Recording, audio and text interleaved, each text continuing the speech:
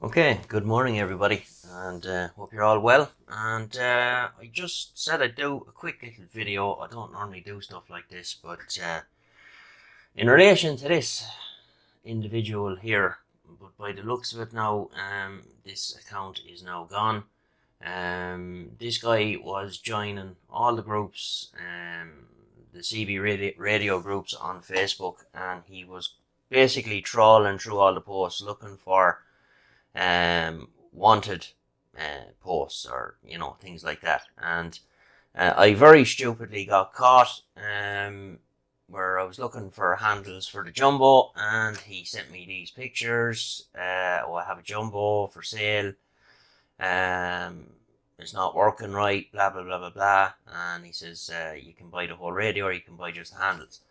So thanks be to God, I only uh, decided I was going to do the handles and we agreed on a price. And he sent me a PayPal request and I sent the money. Uh, I was in work at the time and I, I kind of done it without thinking, I suppose, with, with uh, the advantage of hindsight. Um, you know, everybody'd have 2020 vision, but uh, it, it's uh, I should have I should have had a little alarm bell going off in my head because uh, you know, he insisted on friends and family, which, uh, to be honest, I, I didn't really pass too many remarks on because a lot of people, um, I've done, I don't know how many deals uh, with people down through the years on parts and radios, uh, both ways, where they pay me friends and family and I pay them friends and family, and uh, no, no issues, everything was fine.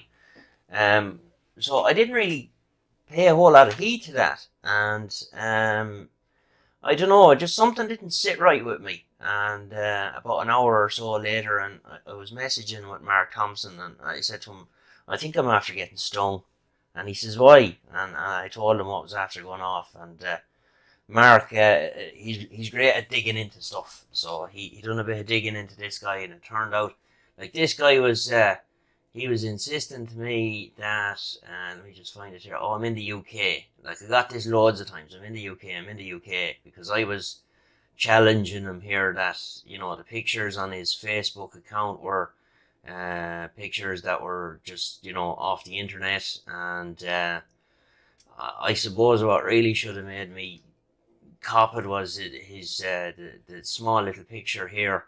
Um, let's see. Can we look at that there? No, because the account's gone. But this picture here, it showed a picture of a load of radios in a car, and the car was left-hand drive. And I should have copped that because if he was in the UK, it wouldn't be left-hand drive anyway. Um, so anyway, long story short, uh, I got on to PayPal and um, I rang them. I was just trying to deal with PayPal uh, through the through the app or through the, the thing on the computer is just uh, about as much use now as a handbrake on a canoe. So I rang them and um, I was talking to some bloke in Dublin and they have a big place there in, in, in Dublin. And I explained the story to him, what this guy was doing, uh, blah, blah, blah, blah, blah. So there and then his PayPal account was frozen and he told me um, that by the end of business that day, his PayPal account would be gone. Now, I hear you say, oh, sure, he'll just go off and set up another one it's not that easy now to uh, to set up a PayPal account like it used to be. Um, they're kind of clamping down on, on that kind of thing now.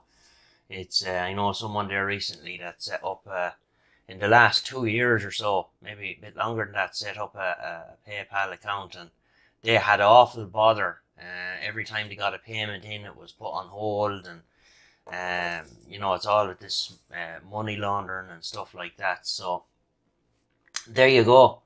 Just be careful, and um, if you think you can share this video somewhere that uh, you know it'll get a good bit of exposure to, to like-minded uh, radio folk, uh, you might uh, share it there so as they won't get caught. And uh, you know, I like to think I'm I'm fairly savvy at this game, but um, it just goes to show you, um, you know, your your the excitement can overrule your your brain um, you know, and there's something that you're looking for, and somebody, oh yeah, have that, and uh, there you go. And uh, if anybody out there has a set of handles uh, let me know. I can get them in the States, yes, I know that, but the shipping is astronomical. Um, I was on to Barkett Electronics and they only have four sets at the moment, and I had a plan that I was going to buy all four and bring them over and then sell on the other three sets, but it worked out that there were, I put a, some of you might have seen it, I put up a couple of posts that they were going to be like £75 uh, for the two handles with the brackets, and uh, you know I got a, quite a few shocked emojis uh, coming up on the post. But look, if you want them, and you know they're going, you're going to pay for them. Uh, I've seen people paying fifty quid for real scabby looking ones, so I don't know what the problem is with seventy five for brand new ones. But um, there you go. Anyway, that's it for now, and we will get you again. All the best.